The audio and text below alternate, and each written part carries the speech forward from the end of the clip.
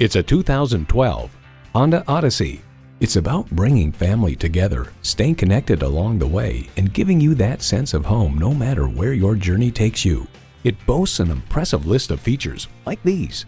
Auto-dimming rearview mirror, refrigerated box located in the console, front heated leather bucket seats, wireless audio streaming, automatic transmission, dual zone climate control, Bluetooth hands-free link, external memory control, express open and close sliding and tilting sunroof, gas pressurized shocks, and V6 engine. Of the Odyssey's interior, Popular Mechanics describes it as astonishingly comfortable, very versatile, and exceptionally high quality. Honda's created some of the most admired vehicles on the planet. Hurry in today and see it for yourself.